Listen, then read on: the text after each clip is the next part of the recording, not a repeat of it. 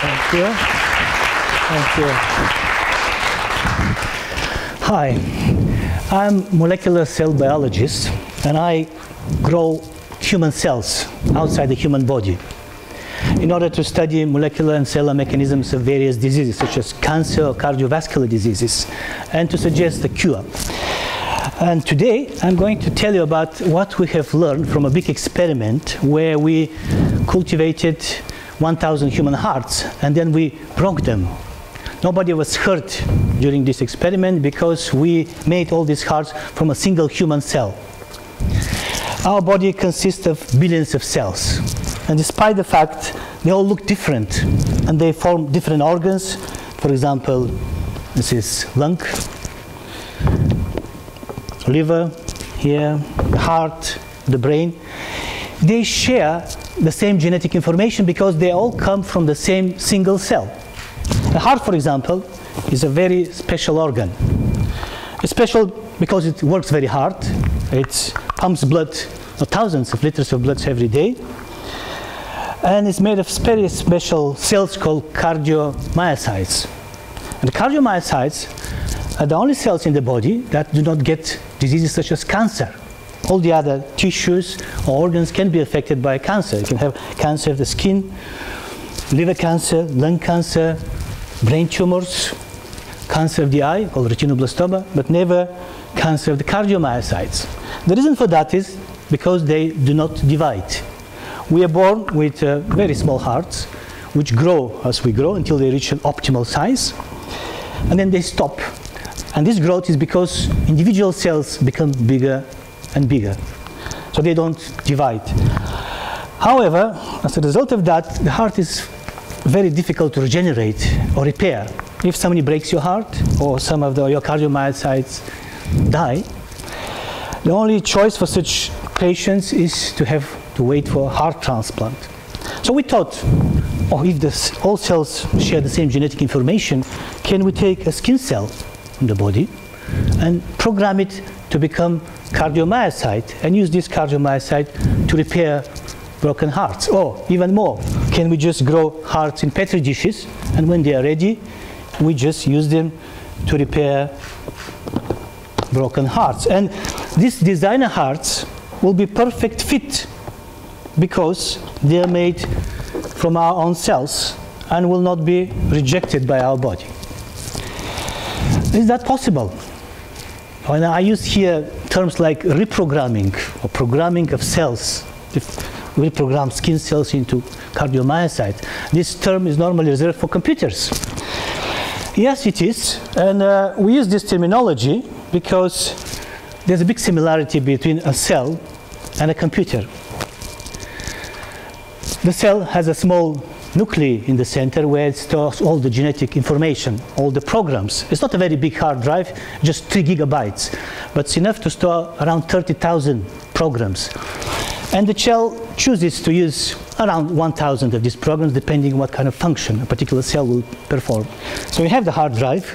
We also need a keyboard to switch on and off different programs, and the keyboard of the cell is the nucleus. Is the the keyboard is on the, on the surface of the cell, which is the membrane, which controls the programs in the nucleus. Uh, the, cell membrane corresponds to the nucleus. We'll only need to find out which key to press on the keyboard and to switch particular program. The signal from the cell membrane to the, to the nucleus is transmitted to a complex system of complex network, which we describe as signal transduction pathways, and they correspond to the motherboard of the computer, very much like signals from the keyboards are transmitted through motherboard to the processor and the hard drive. This uh, signal transduction pathway is a very complex network. a few years ago, we tried to draw a map of some of some of them. It's, it's quite complex, but we think we know enough now in order to press the right keys and switch on the right programs in the cells in order to reprogram cells.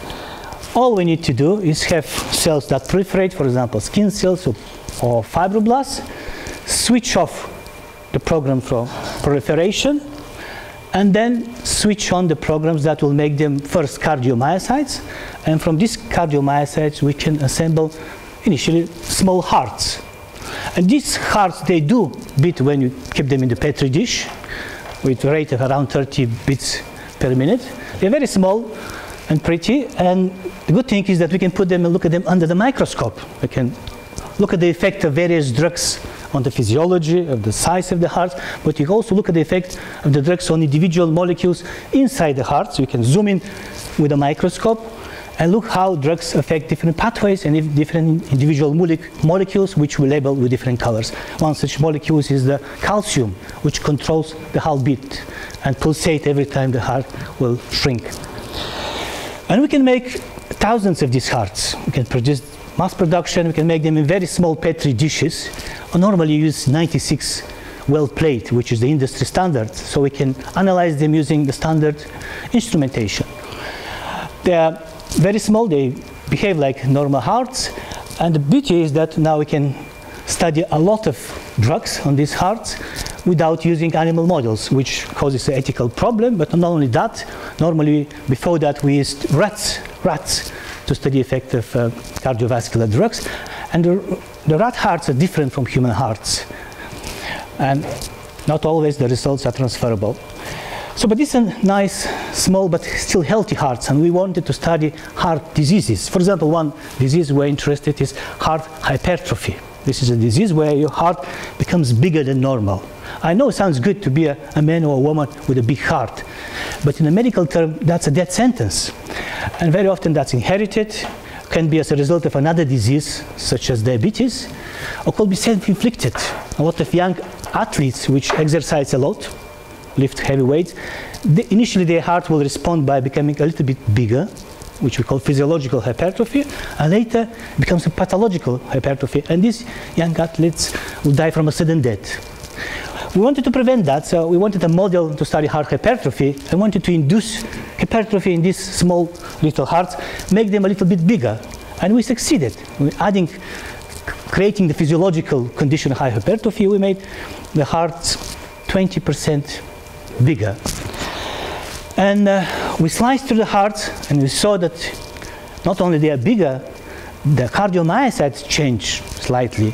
Normal cardiomyocytes are very well organized. They have one nucleus, where the diseased cardiomyocytes are bigger, have many nuclei, and the internal structure is disorganized. That's why they cannot perform their beating function so efficiently.